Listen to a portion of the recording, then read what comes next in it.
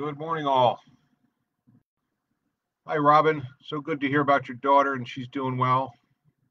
Been praying for her. And Nancy Horvath, good morning. Hi, Norma Bentley. It is God's morning. Kevin Vaughn and Chris Vaughn, good morning. Hi, Linda Wolf. Janet Lyons, good morning. Barry and Margot, good morning to you. And Joan Riggs, good morning. Hi, Judy Hatch. Hi, Ken Woods, Andy Sauerbeck, Tammy Jones, hello. Larry and Carolyn Thomas, good morning. Hi, Judy Sutherland, and Jean Hardwig is with us today. Judy Martin is also. So good to see you all. I hope you had um, a good weekend. We are Joy, Joy and Steve Yamber are with us too. It is a um, hi Mary, my aunt Mary. She's also asking about Tom. I'll handle that. He's fine. They got um, they were uh, they never lost power, but they did lose water. But that gone by Friday, Friday or Saturday. So uh, he Tom, my son Tom is down in Houston. Of course, they had terrible, terrible problems down there. So um, the um, the only thing that I only help I could tell him is that um, they were having problems flushing toilets because of the water. So um, he wanted to know how much water you needed to put in the toilet to flush it. And uh, so that led to uh, that led to some fun uh, things. I said, well, if you take the top of it off, there should be uh, if there's not a line etched into it, there should certainly be a scum line for the water. I said, fill it up to that. And then we found out that, you know, you don't even need to fill that up. If you just pour buckets of water into your toilet, it will flush itself.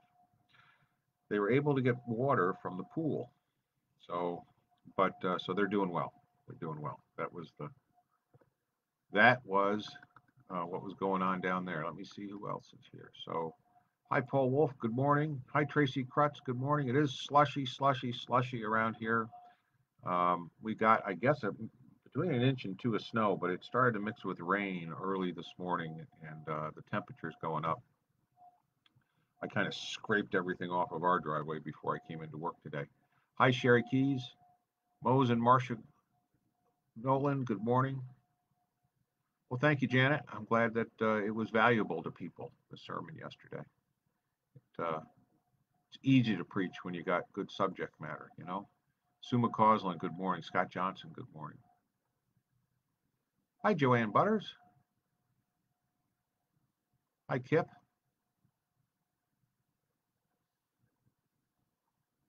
And hi, uh, we've got we've got Carrie with us. Good morning, and hi, Amy Bowerman. So it was a great worship. It really was. Um, we went a little bit long, but that's okay sometimes, right? Not, don't just, I won't make a practice of it. Um, but um, had a lot of people, a lot of people there, and a lot of people commenting afterwards that they thought it was a great worship service. So we do invite all into that. As far as news goes today, um, we have uh, tomorrow night at 7, we're going to have that practice Zoom call because we were having our uh, annual meeting on the 28th of February. And uh, the um, uh, so that is that will be done via, via Zoom. So we want everybody to have the that feels a little uncomfortable with Zoom to have that opportunity to practice. So we will have that uh, have that practice um, on Tuesday at 7 p.m. for anybody that might wants it wants to do it. And it's also we're figuring out things too. So a little bit of grace is always good. Um, and then Wednesday at 7 p.m. we're going to be doing that Zoom-based Bible study on the Lenten uh, uh, during Lent, our Lenten study, and we'll be looking at um, we'll be looking at Lent. What is it? How long has the church uh, been? I want to say celebrating, but observing Lent, and what were the purposes of it? So that'll be uh, that'll be some fun times. And then, if we uh, can, if we have time, we'll move into some of the um, expectations of Lent that we see uh, within the Bible, uh, especially in the book of Isaiah. But uh, if we do get into that, we're just going to touch on it a little bit, just to familiarize folks. The um, the, uh, the all of these things are available if you haven't received the emails about the links. Uh, best way is get a hold of Carrie. She can send those to you. Nancy Sparks, good morning. And uh, so that's on Wednesday. Of course, Thursday we'll have our grief share, which meets via Zoom. And uh, thank God for Zoom, right? Although there's other ones out there. There's Skype and then there's Microsoft Teams. Doug Goddard, good morning. Hi, Ann Winslow. Oh, she's a you're a great grandmother, a little girl. Hey, wonderful. Celebration. Congratulations, Ann. So that's so if you if you were looking for something, there's something to do Tuesday and Wednesday for sure, and uh, uh, we'll do that, then. Uh, but other than that, we're moving along. Um, there should be uh, um, those. Uh, the annual report will be available this week, so that will be available in PDF that we can be sent by email to anybody who wants it. Um, and then also, uh, if you need it printed out, let us know that. We'll print it out and make it available for you to pick up here at the church. So, all right. That's what we're doing. It's a busy, busy day. Oh my gosh, we have a new record. We have 38 devices that are watching. I don't know if I've ever seen it that high before. Oh, all right. And uh, so we will move along here to our devotions today, right? That's what everybody comes for to say good morning to everybody. And um, but this is on Monday, February 22nd, and we are in Lent. We are in Lent.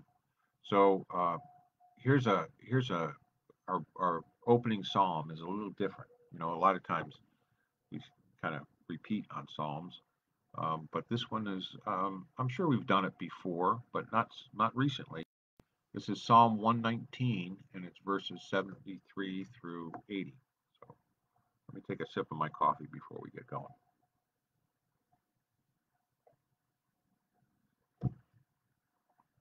All right.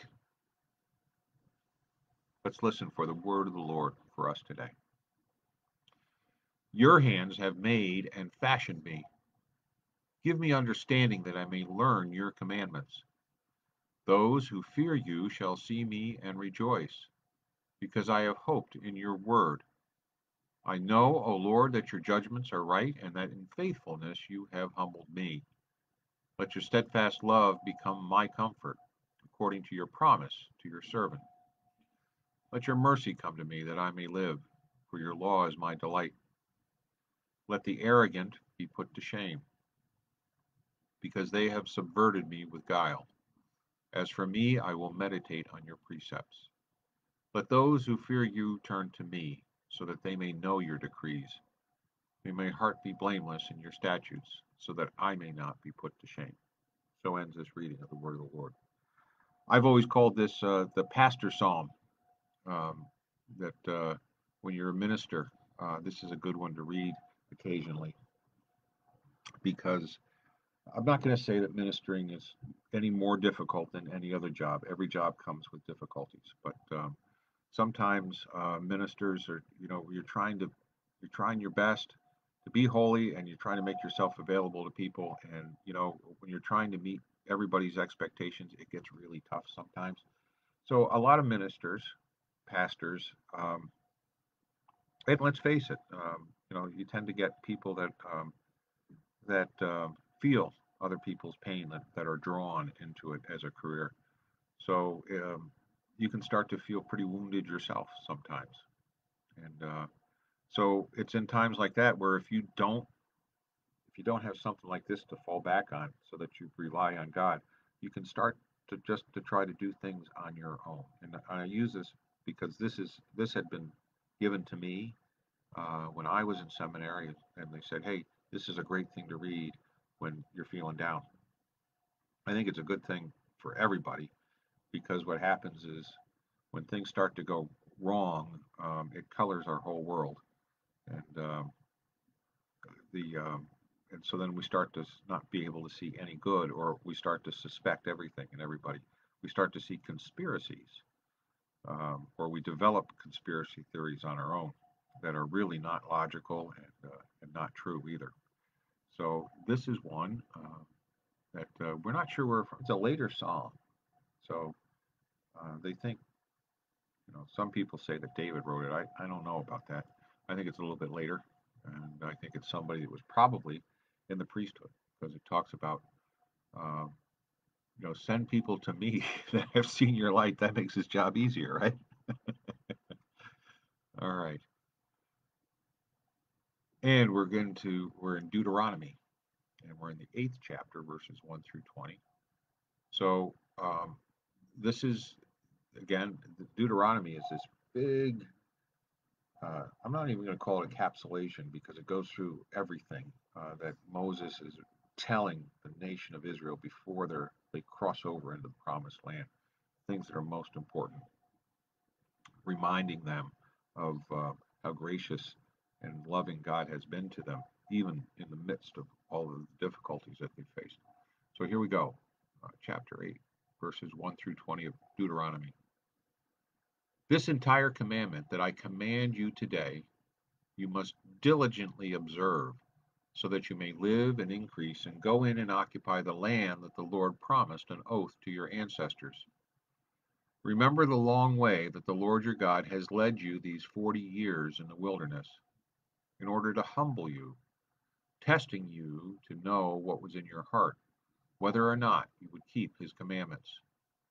He humbled you by letting you hunger, then by feeding you with manna, with which neither you, you nor your ancestors were acquainted, in order to make you understand that no one, I'm sorry, you understand that one does not live by bread alone, but by every word that comes from the mouth of the Lord. The clothes on your back did not wear out, and your feet did not swell these forty years. Know then in your heart that as a parent disciplines a child, so the Lord your God disciplines you. Therefore, keep the commandments of the Lord your God by walking in his ways and by fearing him. For the Lord your God is bringing you into a good land, a land with flowing streams, with springs and underground waters welling up in valleys and hills a land of wheat and barley, of vines and fig trees and pomegranates, a land of olive trees and honey, a land where you may eat bread without scarcity, where you lack nothing, a land whose stones are iron and from whose hills you may mine copper. You shall eat your fill and bless the Lord your God for the good land that he has given you. Take care that you do not forget the Lord your God by failing to keep his commandments, his ordinances, and his statutes, which I am commanding you today.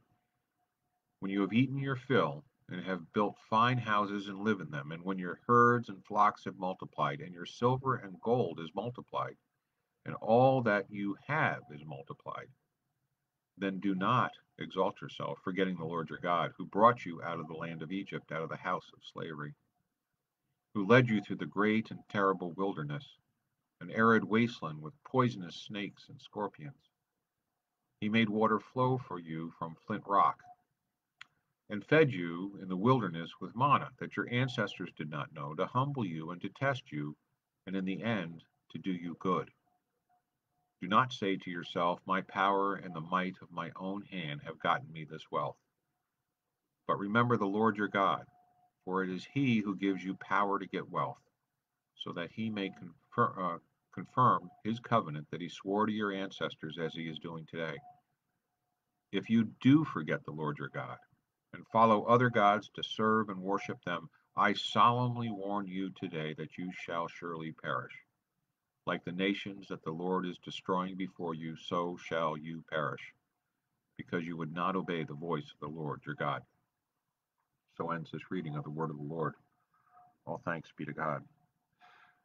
I think that this uh, does a great job of um, kind of launching us into um, one of the purposes of Lent. Um, you know, it's it's this discipline, um, and we get the discipline in scarcity uh, because we strip things away. So we find out that we can't be just dependent upon ourselves to provide everything.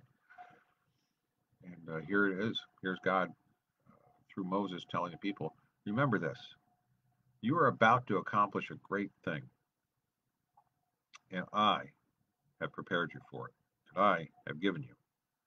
Um, and so, as you um, now remember, when they were crossing over and over the Jordan into Canaan, that there was already other tribes who had their own religions that were there. So uh, space had to be made uh, for the nation of Israel, and we know that um, that was not uh, that wasn't just people saying, "Oh, welcome here, have this land." There was there was battles uh, to get that land, but we also know that um, it, there was an off because of archaeological digs that uh, there's no evidence that there was like this massive military movement. That it was um, it, it, happened uh, over time. Synchronous is, is what they call it. So it's syncretic, and it so they they gradually moved out, and part of it was the melding of people that were there with the nation of Israel. Now remember, there was other religions, and so that was the danger that's being warned about here, right?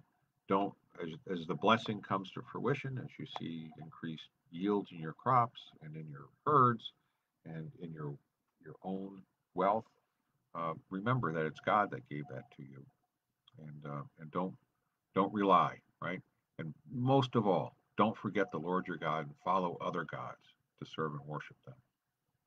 Because the threat, every blessing that uh, God provides in the Bible, there's also a curse. And the curse on this one is that he says, You, you shall surely perish. Um, interesting thing here is this is where, when Jesus is in the wilderness after his baptism, um, Satan comes and tempts him three times. And one of the times that he tempts him is he says, "Worship me," right? And um, you, I will, I will provide bread for the world. So in other words, sell out to me, and I'll, and I'll let you take care of people. And Jesus responds, "One does not live by bread alone, but by every word that comes from the mouth of the Lord." This is where it comes from. So he's quoting scripture at the at, at the devil. Okay, our, our reading in the New Testament, our first reading in the New Testament is Hebrews, letter to the Hebrews, chapter 2, verses 11 through 18. And uh, this is um, this is a letter that's being written to a new Christian church who is substantially made up of Jewish people. So it has a very Jewish emphasis and um, you know uh, pulls on on Jewish tradition. But um, the purpose of it is to really strip these people away from the elements of Judaism that are holding them back from fully understanding uh, that that God was in Christ, right? That He wasn't just a prophet. Okay, so here we go. For the one who sanctifies and those who are sanctified all have one Father. For this reason, Jesus is not ashamed to call them brothers and sisters, saying, I will proclaim your name to my brothers and sisters. In the midst of the congregation, I will praise you. And again, I will put my trust in him. And again, here I am in the children whom God has given me.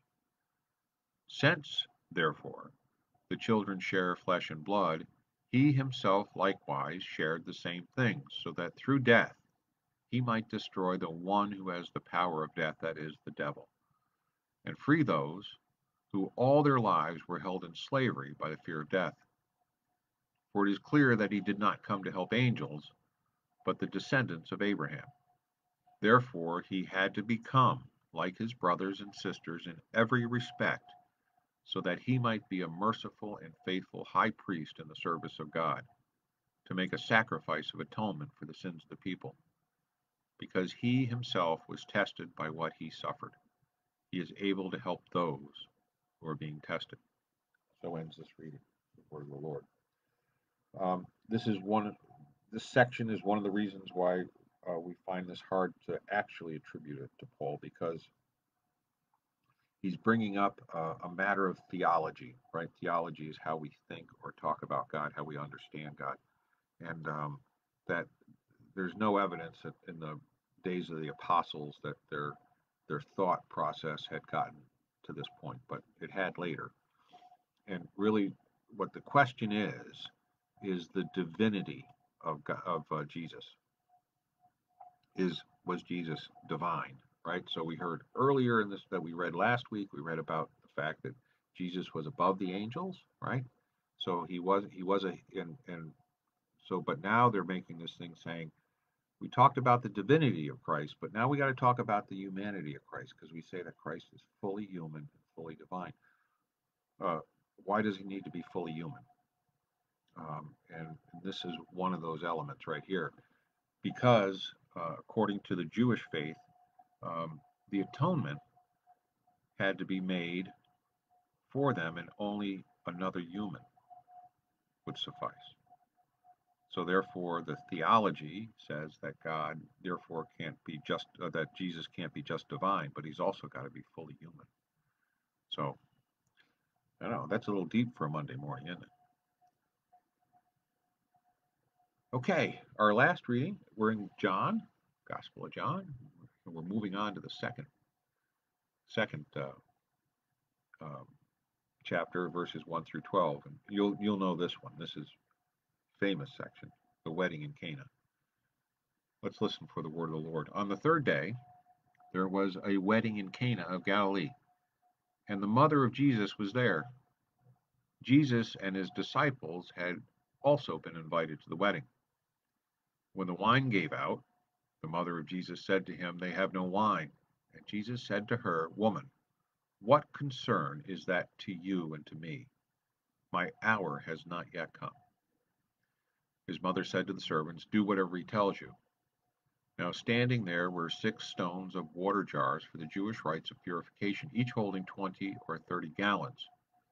Jesus said to them, Fill the jars with water. And they were filled up to the brim. He said to them, Now draw some out, and take it to the chief steward. So they took it. When the steward tasted the water that, that had become wine, and did not know where it came from, though the servants who had drawn the water knew, the steward called the bridegroom and said to him, Everyone serves the good wine first, and then the inferior wine after the guests have become drunk. But you have kept the good wine until now. Jesus did this the first of his signs in Cana of Galilee, and revealed his glory, and his disciples believed in him. After this, he went down to Capernaum with his mother, his brothers, and his disciples, and they remained there for a few days. So ends this reading of the word of the Lord. All thanks be to God. So, um, John's gospel differs from Matthew, Mark, and Luke. We call Matthew, Mark, and Luke because they're very similar in form and share many of the same parables, many of the same stories. Some of it's a little bit, you know, the difference is it's like pearls on a string, right? The pearls have been threaded in different ways in those three gospels. But we say that really it's got the same eye, so we call it synoptic, same eye, right? And uh, and then we have the Gospel of John, which is uh, uh, significantly different in form and even some of the things that are in it. This only appears in the Gospel of John. It occurs early in the Gospel of John, and um, and uh, it's the first miracle attributed to Jesus. So they're at they're at a wedding, right? Somebody's getting married that they all knew. Now he's obviously been baptized because he has his disciples with him, and he didn't start to gather them until after that. So his ministry has started. He has been baptized with the Holy Spirit, so he has the capability of doing these miracles. And his mom knows, right? So the wine gave out. They were at the they were at the wedding, and uh, everybody was having such a good time that there was no more wine. And she said, "Hey, I know what you can do. Make some more wine. Let this party keep going." And uh, so he responds to her, "What? Hey, what concern is it to you and me? Right? Uh, this isn't what I, I'm intended to do. My hour hasn't come yet." And she just says, "Just do it." So he does. He makes he makes uh, six times thirty, so 180 gallons of wine, and it's the finest wine. When the when the when the wine steward uh, it's brought to him and he tastes it, he's like, "Oh my goodness!" Everybody serves, you know, the first round of bottles are the best wine, and then once everybody starts to uh, get a buzz on, I guess, right? Uh, then then they start bringing out the cheap stuff. And here, you've saved the best until the end. So, a couple things about this. Um, first of all, the feeding of the 4,000 and feeding of the 5,000 does not appear in the Gospel of John. So there is a strand of theological thought that this is John's uh, miracle of multiplication. But he also uh, there, there's there's a couple subtexts that are playing through this, right? And the first one is, if you remember, the wine uh, at the Last Supper, right, becomes the blood. So it says, um, you know, it, it, it's about the fact that the best wine, the wine that's going to provide salvation, is the blood of Christ. So there you go. Maybe you know, maybe you heard something you hadn't heard before. But that's it. Let me come back over to Facebook here and uh, see what we got.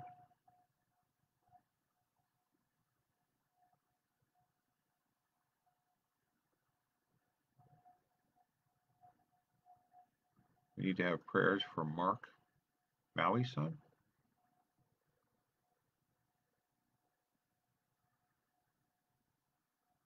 Of course, we're going to pray for Jen, right?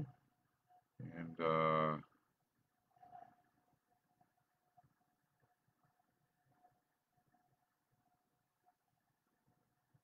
Mark, Mark Davis. Okay. So Mark's son. And um, Sherry, I knew Sherry would have a question. Good. Do you think Mary gave him the look when he called her a woman? yes. Yes, I do. Right? This is um, um, there's two there's two instances in the Bible where I think that we see the Jewishness. This is going to sound stereotypical, and I don't mean it to be that way. But um, the uh, there's two elements in the Bible which show us the Jewishness of uh, of uh, the divine and the first one would be when um, uh, when Moses right comes across the burning bush. He's looking for that lost sheep, and he sees this uh, this glinting off in the distance. As he gets there, he sees it's this bush. Um, it's this bush that's uh, burning but not being consumed. And when he goes there, um, God tells him, "Hey, take off your shoes. You're on holy ground." And I just I always laugh because I had um, uh, my freshman roommate in college um, lived close to, I went to Brown in Providence, Rhode Island, and he lived very close to Providence. So we would go to his house at times, and um, and he Jeff was Jewish, and his mom, and we always had to take our shoes off before we came in the house. He's like, "Hey, take those shoes off. Don't get this, don't get this place dirty." So and then the second thing is this, you know, and I just think it was Jewish mother, you know, it's like, what? what? You're you're going to question me? Just do it. Just do it. So yes, I do think Mary gave him the look, and I think that Jesus was a great son because if you notice, he did it. He did it without arguing. He just oh, it's easier just to give her what she wants. We'll make this my first miracle. All right. That's fun. That's fun here. All right, so we, we are going to pray here. So we need to pray for Mark Davis's son, and we're going to play, pray for Jen, who is uh, Robin's daughter, but she's doing better, right, Robin? That's what we understand. So let's pray. Lord, we thank you for the scripture that you've given us to consume together, and we ask that uh, as we as we imbibe of it, uh, that it would be food for us, so that it would feed our journeys uh, with you during this course of Lent. That uh, the purposes as we read it, that we will gain a deeper understanding of not only you, but your love for us. And Lord, as we gather here today, we know that there are people that are not doing well. We pray for people who are in need of physical healing. We pray for Mark Davis's son and uh, we pray, pray for Robin Allen's daughter, Jen, that uh, they will be returned to full health. We also pray for those who are struggling with uh, relationships today, um, and we also pray that um, that that the people who are uh, suffering uh, because of the scarcity of supplies in areas of this country and the world, that they will uh, have those things that are needed provided to them. And Lord, we just pray for gratefulness we pray that uh, people will understand that there are people who care, that who can bring the light of Christ into the world, and that uh, there is a better way, Lord, we pray for the kingdom. We pray for the kingdom that it might manifest itself and break out in wonderful ways all around us. Lord, make this Lent special.